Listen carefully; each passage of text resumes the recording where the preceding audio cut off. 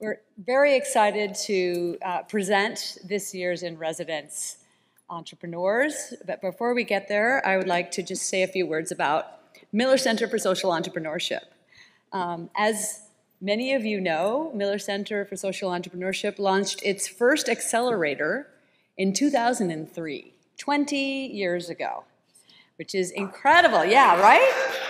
And also, as some of you know, that's a full two and a half, three years before Y Combinator was launched. So, like, wow, mind blowing. The founders of Miller, what is now Miller Center for Social Entrepreneurship were so prescient in terms of being ahead of their time, thinking about how to leverage the entrepreneurship and innovation of Silicon Valley to solve thorny global problems. And here we are today, 20 years later, continuing with that general mission, but then also now we've had our own milestones that we've surpassed in this recent year, and I just want to talk about a couple of them. We continue to focus on two themes, women's economic power and climate resilience, and in fact, in this last fiscal year, of the 90 entrepreneurs that we engaged with, 62% of them self-identified as women-led, which is a big milestone for us at Miller Center. Yeah. Um, another one I'd like to talk about is our top line KPI, which is around what is the increment in the number of lives improved within three years of graduating from one of the Miller Center programs. And we kind of accumulate that number, and we just surpassed 163 million lives improved within three years of uh, the entrepreneurs graduating from our programs. This is like a major one. And then I'm just going to talk about one more big number because it news that just came out today, and I don't know if Manoj is here, but one of our alums, uh, Manoj Sinha of Husk Power Systems, just announced this morning on TechCrunch that they just closed a $102 million round, and they are the biggest and most profitable yeah, mini grid uh, company in India and now in Nigeria. So that's the kind of thing that can happen when you believe in a dream like these entrepreneurs do and, um, and you enjoy continued support from Miller Center, the amazing entrepreneurs, the mentors. I, I sort of see many of you here in the audience because the lights are in our eyes. And I just want to thank everyone in the Miller Center ecosystem for being here, for supporting us, and for supporting the entrepreneurs. And with that, I'd like to ask Karen to say a few words about the entrepreneurs you're about to see. Well, thank you so much, Brigit. So I'm very excited to welcome this special cohort of SOCAP entrepreneurs who are also, as we all know, the Miller Center Fall in Residence cohort. So the enterprises invited here today represent some of the most promising leaders who are actively accelerating hope for a world without poverty. So this year we've got 12 social enterprises whose collective impact spans across several countries, not just in Africa, including Kenya, Madagascar, Nigeria, and Uganda, across the Asia-Pacific region in areas like Myanmar, Indonesia, India, and of course in Latin America, with impact in El Salvador and Mexico. So this truly is a global cohort. So a key focus for us here at Miller Center is to really put our time, our energy, and our resources in supporting entrepreneur alumni from Miller Center, like these 12, who are successfully tackling some of our planet's most critical social and environmental issues. They represent sectors including sustainable agriculture, food security, maternal health, clean energy, ethical fashion, and the circular economy. So these enterprises are quite literally disrupting the structures that allow poverty to exist and the earth to be degraded. Collectively, they're raising more than $100 million in investments so that they can provide solutions and even new ecosystems that are decentralized, can scale at a pace that meets global demands, and shifts the power back into the hands of those most vulnerable. So for our guests here today who may not be as familiar with Miller Center's In Residence program, our entrepreneurs have literally traveled from all over the world to be here today with all of you so that they can participate in simulated investor meetings, facilitated sessions with our mentors, with their peers, and the broader Santa Clara University community, all with the goal to better prepare them to effectively tell their stories as leaders of change. I want to give a huge, huge thank you to SOCAP today for being such generous hosts. Shout out to Sarah Sterling, who's backstage. Yeah. So we are truly so, so honored and glad to have this opportunity to give our cohort this tremendous platform to showcase this work and to increase their social impact. We hope that you leave this event feeling inspired by these presentations you're about to see.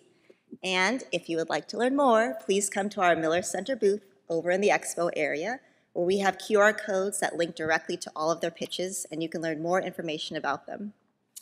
So, Without further ado, it is my pleasure to introduce our first entrepreneur, Sarah Onchangu of Boka Eats. Sarah? Yeah. All right. All right.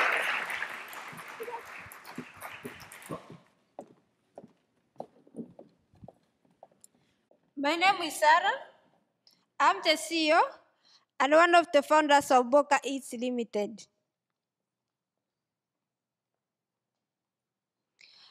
I became a teenage mother. My son was constantly sick. I took him to the hospital. The doctor prescribed foods rich in protein as the first line of treatment. This is because our kids were lacking foods rich in protein, and also our farmers had no skills in animal husbandry, which would enable them to raise poultry in order to get eggs, milk, and chicken meat, the cheap source of protein in the community. To solve this, I work with smallholder farmers in my rural community in Western Kenya. I make animal feeds for them. I supply animal feeds for these farmers so that they can be able to increase production of eggs, milk, and chicken meat. I also help farmers reduce post-harvest waste of bananas, where we process banana flour into banana chips. The byproduct from this processing, we make animal feeds. We provide market linkages for the extra products. These are eggs, milk, and chicken meat they produce so that they can be able to get enough income. We are raising funds we are raising $450,000 in form of debt, and also we are raising we are raising 250,000 in form of grant. This will enable us to reach 105,000 potential farmers in trainings, and also it will enable our farmers to produce enough protein to supply people in the community. And it will also help these farmers increase their profitability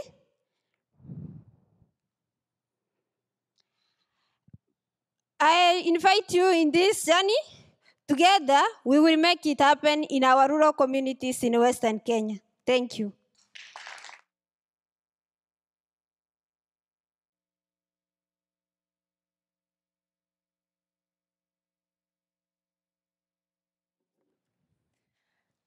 Hello, everyone. Um, my name is Martyna, and I'm the co-founder of GajiGesa. GajiGesa is a three years old financial wellness platform for the working poor in Indonesia. Our name comes from local Indonesian language and means salary now.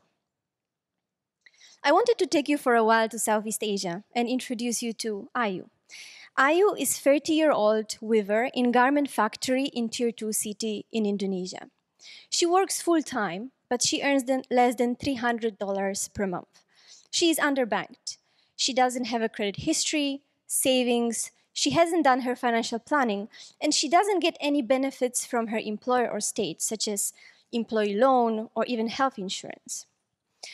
When Ayu's son fell ill, Ayu was forced to borrow from a loan shark stationed just outside the gate of the factory she works to be able to cover for unexpected expense. Since then, Ayu is trapped in a cycle of high interest borrowing. She is haunted by the loan shark at her workplace, at home, and worried about the safety and dignity of her household, she decides to leave her workplace so that she can't be found. But Ayu is not an exception. There are, there are around 134 million formally employed in Indonesia, out of which 80% are classified as working poor. And there are 450,000 bigger sized businesses which hire working poor workforce struggling with their lower productivity at work and high attrition rates due to prolonged financial stress. But we do have a solution. GajiGesa is a financial wellness platform which, in collaboration with employer, enables employee to access their, their wages real time with a push of a button on a mobile device before the payday. But don't confuse it with a loan. These are the wages employee is already entitled to based on their productivity at work, such as finished day, hour, or shift. These wages can be cashed out to the wallet or bank account of their choice or it can be also used as a payment method for different products and services, such as bill payments, grocery vouchers. Employee can transfer money to the family and friend upon a small fee. They can also purchase, uh, they can also pay for the religious donation on the application. They can finally buy suited for them health micro insurance. They can use it also as a source of funds for the investments, such as gold. And last but not least, they can also engage in a financial education content through the application. We are proud to share that till date, we have positively impacted lives of more than 27,000 employees in Indonesia, and we saved them almost $40 million in predatory loan fees. How about Ayu? Ayu has been using GajiGesa for almost a year she, she finally managed to stop borrowing from informal lenders, and she even started saving for her child education. And she's the biggest cheerleader of GajiGesa at her workplace. We are raising additional $5 million in debt to be able to uh, help to be able to positively impact lives of 100,000 employees in Indonesia. Thank you.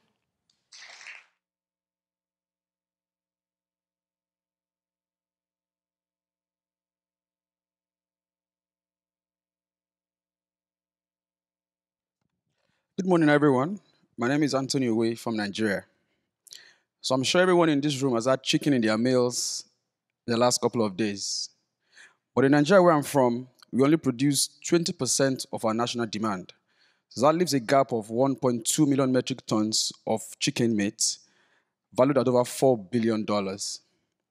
I've lived this problem as well myself. 10 years ago, I moved back to Nigeria to start a poultry business. But that is not enough. That is why we're building ePoultry. ePoultry is leveraging on technology, a software as a service platform that helps farmers to digitize their operations and financial records so they can qualify for input loans from banks and other financial institutions. The lack of access to data actually limits farmers to get funding they need to scale. On the other hand, we also provide a marketplace that ensures these farmers can actually sell profitably after the farm cycle. So they make more 25 to 30% income on their efforts in the food systems. We're looking to raise $600,000 to provide input financing to 500 farmers in the next 12 months, support 5,000 farmers across 11 cities in Nigeria, and interestingly, 72% of our farmers are women. If you're looking to do good with your money, you should join ePoultry and let's do this together. Thank you.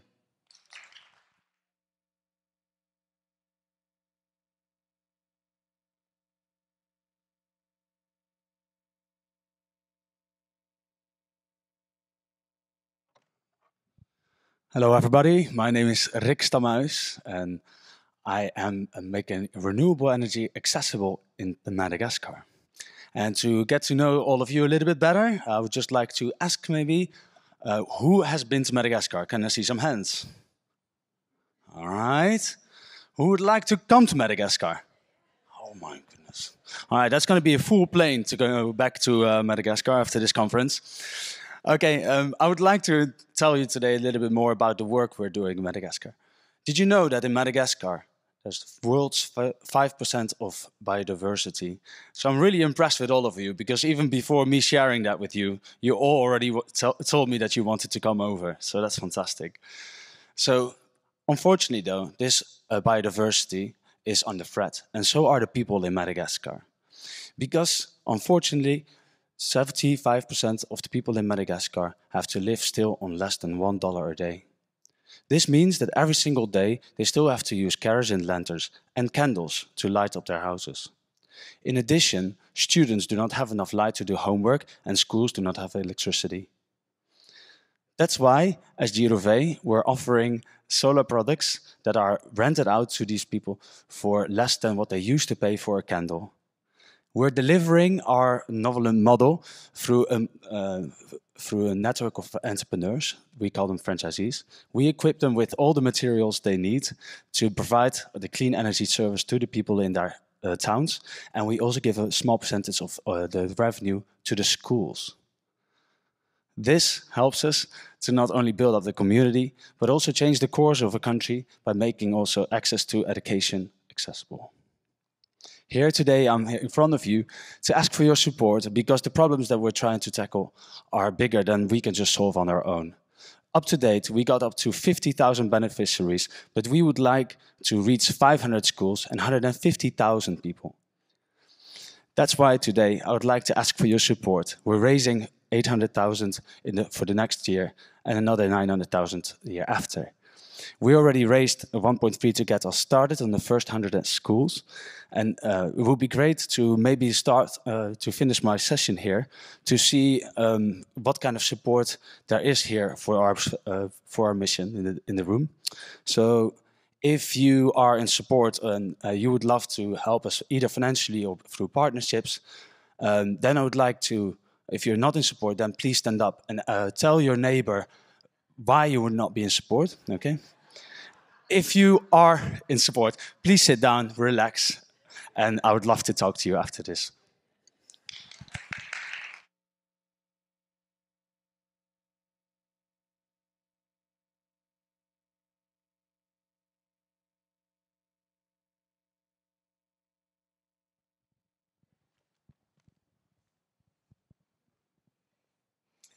Hi, everyone. Good morning. My name is Natalie Casey. I am the Chief Business Officer at Koolboks. Our mission is to make sustainable cooling accessible to everyone who needs it. And I wanted to start first with a story about Mama Ibadon. Mama Ibadon is one of our first customers. She's a fish trader in Lagos, Nigeria. When we went to visit her a few months ago, to ask her how she was faring with her new Koolboks solar freezer. She said, I cannot tell you the number of times that I used to have to throw away fish at the end of the market day. This product, this freezer, has helped me save money, and now I sell more. And why is it that this product, this fridge, would have such an impact on women like Mama Ibadon? The reality is that 600 million people in sub Saharan Africa live off of the grid, and an estimated 83% lack access to refrigeration. That leads to um, wastage of food and medicine, a dependence on diesel generators, and while solar refrigeration could be a solution, there are high upfront costs, and many times small business owners like Mama Ibadon don't have access to credit. Our solution is one that offers continuous refrigeration by storing energy in the form of ice. It eliminates the upfront costs and it displaces the use of diesel. And we do that with cool technology. Cool technology is a combination of solar refrigeration. It's also embedded with pay as you go technology. And that enables us at Koolboks to offer innovative financing to our customers. They can pay outright, they can pay on a lease to own basis, and even as cooling as a service. Of course, uh, in order for us to, to bring this impact and to scale across sub Saharan Africa, we are asking for your support to raise uh, our Series A of a total of $15 million, 5 million in equity, 10 million in debt, and that will enable us to have our build our capacity and be able to bring our solar refrigeration products to more women like Mama Ibadon. And with that, I'd like, you to, I'd like to invite you to join us in making sustainable cooling accessible to everyone who needs it. Thank you.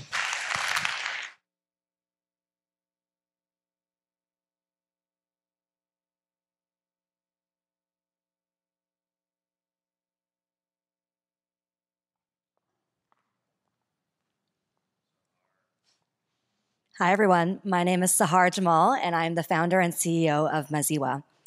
Our mission is to ignite the potential of mothers to balance their baby's health and their family's economic well being.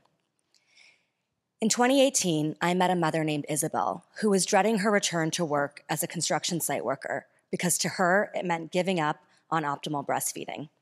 Now, unsurprisingly, her construction sites don't have a lactation room where she could use to express her milk.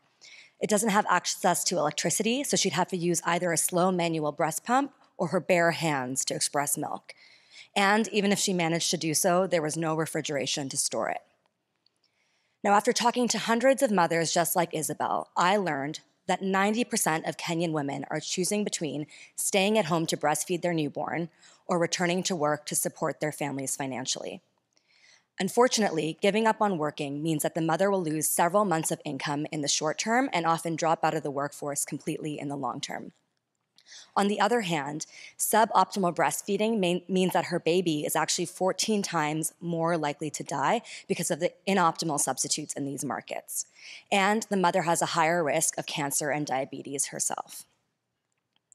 Now, while we do a good job of educating mothers on the, the benefits of breastfeeding, we often don't give them enough practical support.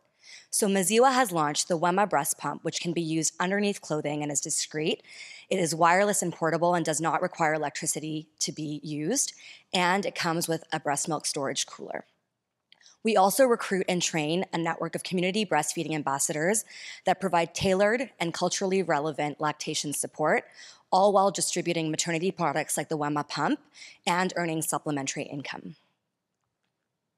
Now, to date, we've reached over 16,000 mothers and children and earned over 90,000 in US dollars in revenue. And we've built a powerful single product brand in Kenya, all with the help of half a million dollars in grants from groups like Grand Challenges Canada and the Acumen Fund. And we've been fortunate to be supported by great organizations like the Miller Center. Now our ask is $1.25 million in blended financing, and 50% of this is already in the works. With this funding, we'll be able to reach over half a million mothers and children and generate over 10 million in earned revenue by 2028, all while breaking even by 2026. This will allow us to build a multi-product distribution network across the continent because as I'm sure you know, this is not just an issue that Kenya is facing, but actually occurs all over Africa and many areas in the world, including the US. So we'd like to build a strong global full-time team with partnerships across the continent with this support. And we hope you'll join us in this journey to ensure that no mother has to choose between her baby's health and her family's economic well-being. Thank you very much.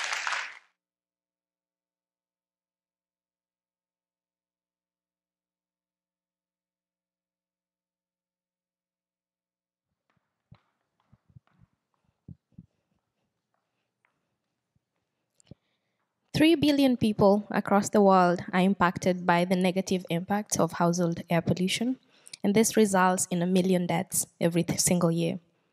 Good morning. My name is Charlot Magayi. I grew up in Mukuru. It's one of the biggest slums in Nairobi, and by 10, I was already a total orphan. At 16, I became a teenage mom, which meant I had to drop out of school to figure out a way to fend for myself and my young daughter. I got a job selling charcoal. It was also the only fuel I could afford. And so my daughter and I kept suffering from respiratory tract infections. And when she turned two, she suffered a severe burn injury caused by a traditional stove. This sparked my interest in providing a better cooking technology for my community. I wanted to rewrite the script of possibility for women and girls and make it safer for mothers to cook. I founded Mukuru Clean Stoves. It's the first social enterprise with a factory that uses recycled metal to manufacture improved cook stoves, and then we partner with local women business owners to distribute to the last mile.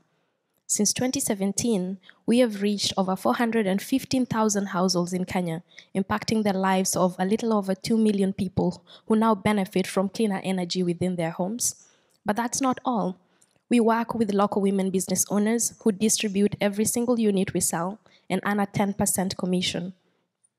Our stoves have enabled families to avoid over 820,000 tons of carbon emissions and also earned our local women business owners almost half a million dollars in commissions. But that's not the, all we're doing. Last year, we won the Earthshot Prize, which came with a million pounds and a question what else could we do? Our stoves were enabling people to limit household air pollution, but it wasn't really taking it all away. And there was the problem of malaria. So then we decided we were going to develop the first in the world malaria fighting briquette, which is patent pending now in the US, to enable families to create a cloud that turns their home into a mosquito repellent zone when they are cooking. We came up with this idea because we read a report by the CDC that was stating that millions of people, even with access to mosquito nets, were still catching malaria around the time that they were cooking. And my daughter thought, Are they cooking using your stoves, mom? So I figured I needed to change that for a lot of people. We have received funding from a couple of organizations to do research on this and produce this fuel and bring it out into the market. And we are now raising $5 million to get into the next 500,000 households, not just with our stoves, but also with the fuels that we are now manufacturing. Mukuru Clean Stoves over the last six years has been fighting household air pollution. With your help, we can reach the next 50 million households. Thank you.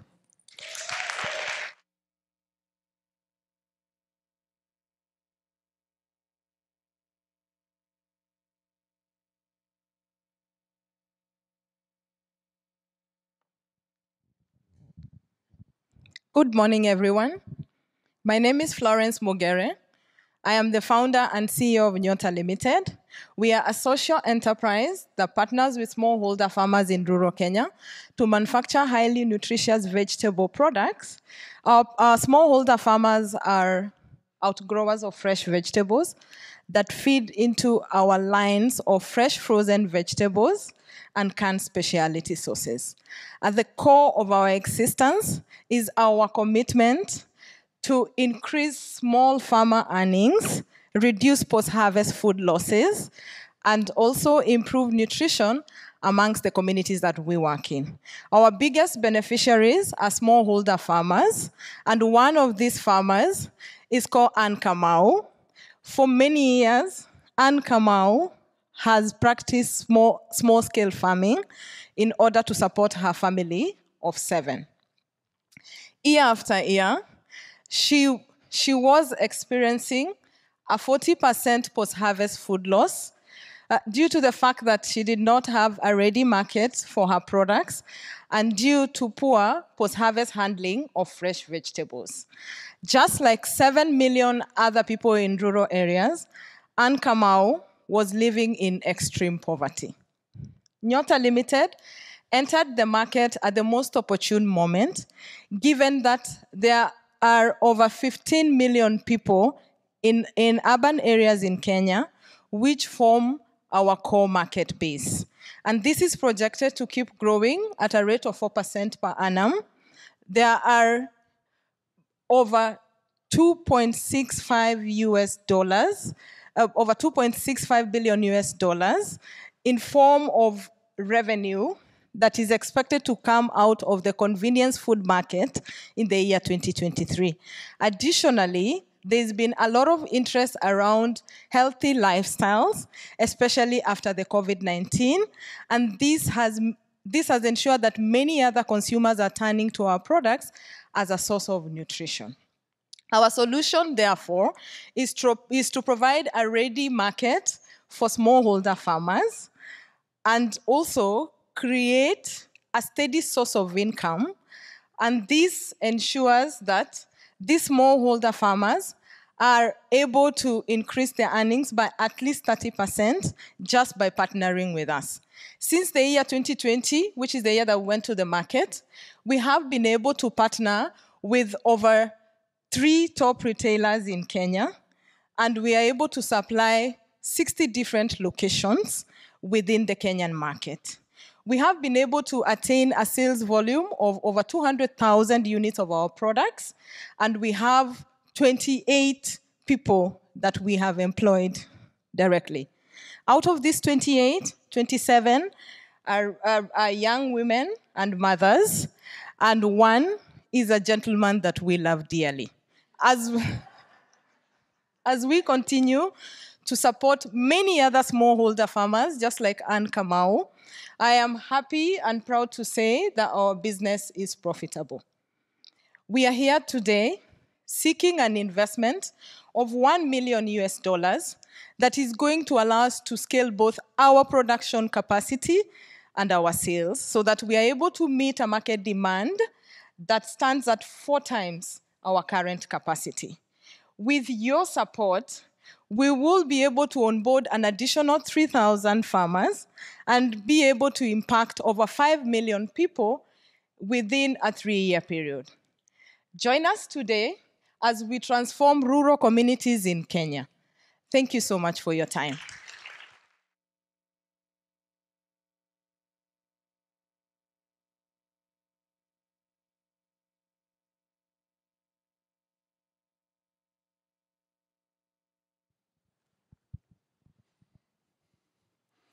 Hello, everybody. I'm so grateful to be here. My name is Matt Wallace. I'm the CEO and co founder of ONOW. At ONOW, we help young women, typically migrants in peri urban and rural areas, to start and succeed in their own businesses. And we do it in partnership with business support organizations to help them run better to serve more women on the margins. In 2008, I moved to Myanmar, and for 13 years, I worked with micro and small enterprises, learning the ins and the outs of their challenges. But in 2021, my family and I had to suddenly flee the country because of Myanmar's political instability, a, mil- a military coup.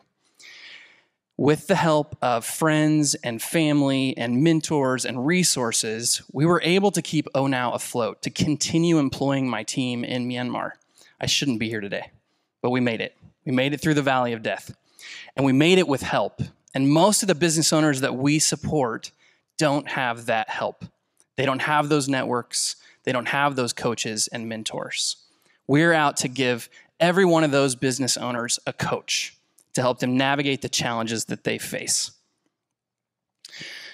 These business owners face two major challenges. Number one, they have no margin of safety. When they face a challenge, it's threatening. It's life threatening. If they have a challenge in the household, it threatens the business. If they have a challenge in the business, it threatens the household they also have low to no growth prospects. If they see an opportunity, it's almost impossible to seize it. They don't have the resources to seize it, and they don't have the support to seize it. And these are individual challenges. Business support organizations have the local understanding and the local context to speak to the needs of business owners. But they also face challenges. They face resource constraints and it's incredibly difficult to deliver support to every single individual entrepreneur. What usually happens is they deliver a training program and it doesn't at all understand the specific needs of each business owner. So, ONOW developed a digital platform to extend access to women on the margins who want to launch their own businesses through business support organizations. We help business organizations scale up their individual services to women on the margins who own businesses. Most importantly, it reduces things like reporting time, less time on data entry by 86%. It decreases the time they spend rifling through papers and reading about information about an entrepreneur by 50% so that they can spend more time coaching that entrepreneur. We help business support organizations 10x the amount of time they actually spend coaching. ONOW used the system ourselves, and it helped us grow from serving 300 businesses to 10,000 businesses in 18 months with individual, real time, one on one support. This is a software as a service subscription model. It's regular recurring revenue for our company, which makes us sustainable, and it's eminently scalable so that we can serve the needs of business owners all over the world. So we're raising a $650,000 investment to help us optimize this platform, to help us take it to scale in this really important issue because business touches everything.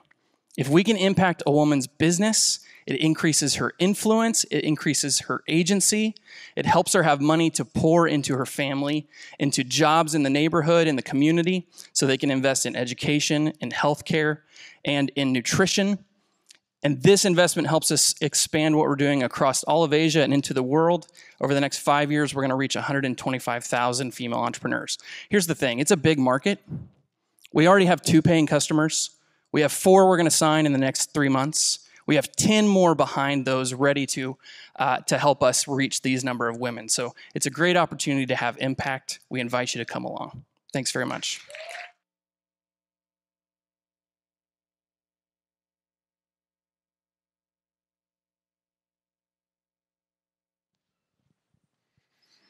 Hello, everyone. My name is Julio Alvarez. I'm the founder and CEO of Promesa, and I'm here to talk to you about the power of building a community.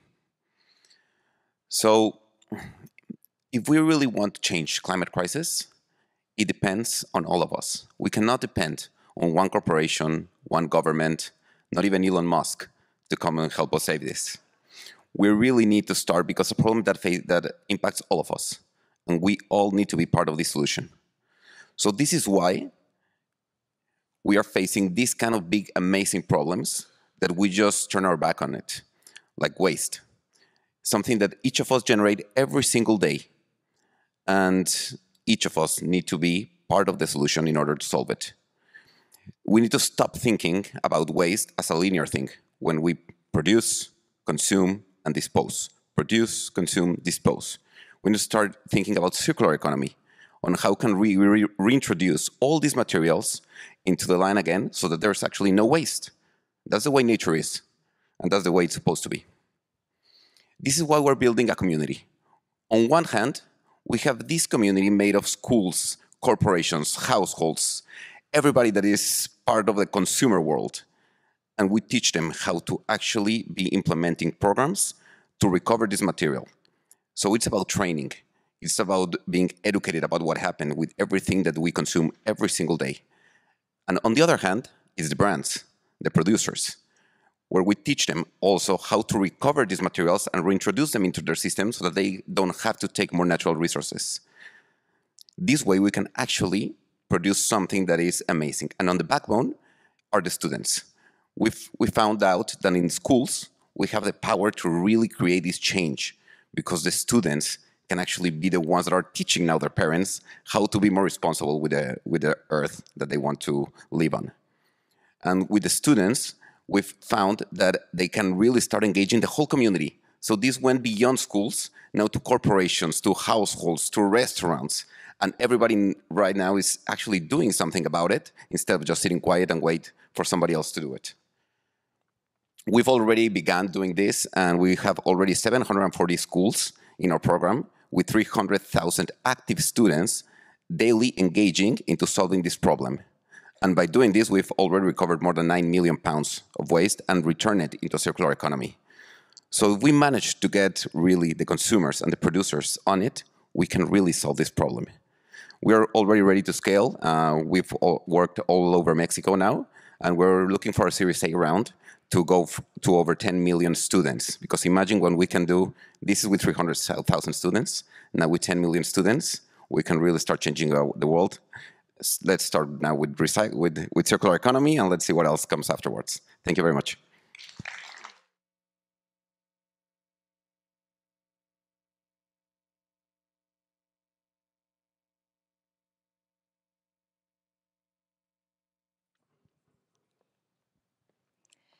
Can crisis lead us to finding new opportunities? In my experience, it has, and not only once, but multiple times. My name is Ariela Suster. I'm the founder and CEO of Sequence Collection, my company of handcrafted jewelry and accessories that I started as a personal mission and turned it into a sustainable business. I wanted to figure out a way to disrupt the cycle of violence for at risk youth in El Salvador a country of 6 million people that for the past 40 years has experienced a civil war and gang related violence. Let me share with you why I started Sequence. I grew up in El Salvador during the Civil War, and my family experienced violence firsthand, from shootings in our home to car bombs to my brother being kidnapped. I left El Salvador to go to college. I attended Skidmore and then worked in fashion for many years in magazines like InStyle magazine. But I always knew that that wasn't my true calling. So I went back to El Salvador to address an issue of violence that had once affected my family. Currently in El Salvador, the biggest driver to gang recruitment, illegal drug trafficking, and migration is unemployment. 25% of youth in El Salvador are currently unemployed. And when this cycle isn't broken, these young men end up in jail. Now, two out of every 100 Salvadorians is now in jail.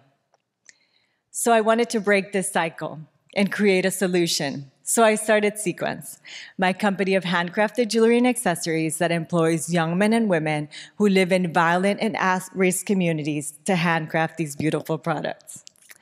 We sell these products through retail, wholesale, online, and through corporate partnerships and fashion collaborations. So what has been our impact to date? Sequence has employed over 75 artisans and influenced the lives of 300 individuals in the communities that we work in. We have had deep impact in the lives of the young men and women who have come to work at Sequence. But now we want to scale that impact across more communities in El Salvador and around the world. So please come talk to us. We're at the marketplace, uh, SOCAP Marketplace, to learn more about the Sequence Artisan Incubator, for which we are raising $300,000 to continue to expand our impact and generate 10 times more employment than Sequence is generating. Come talk to us also if you're a corporate company or a fashion company. I don't know if there's any here. um, so we can produce your corporate gifting products. Thank you so much.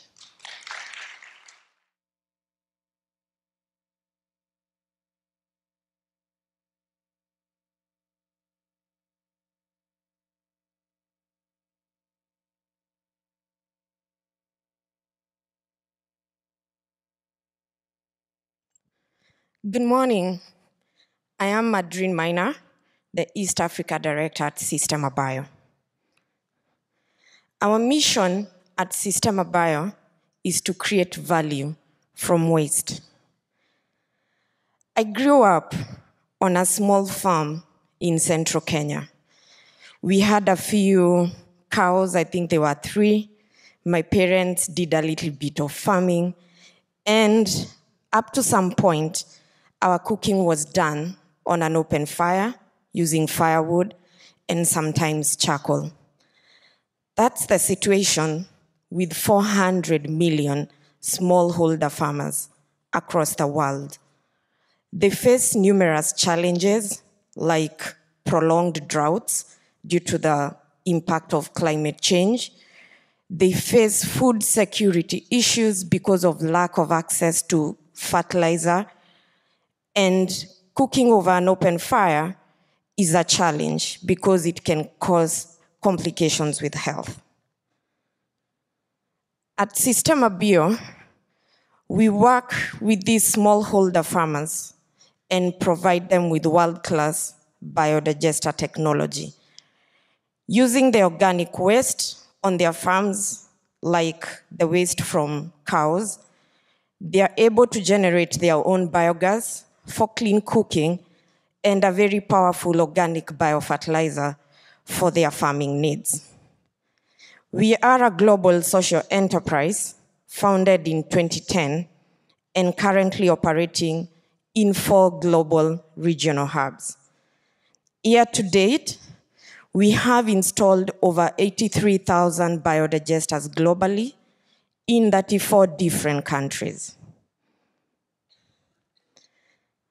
The impact of owning a biodigester has very strong links to several SDGs like zero hunger, good health, affordable and clean energy, and climate action as well. This is the typical setup in any of the many farms across the world where we've installed one of our biodigesters.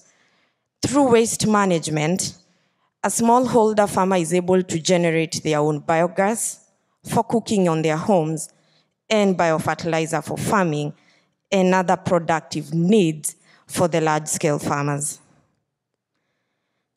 We've worked with several partners to reach these smallholder farmers globally, and our ask is $60 million in carbon financing to expand our operations globally, and especially in Africa, where we have identified eight new countries that we want to go to in 2024, and 8 million of these will be in equity and working capital. Thank you.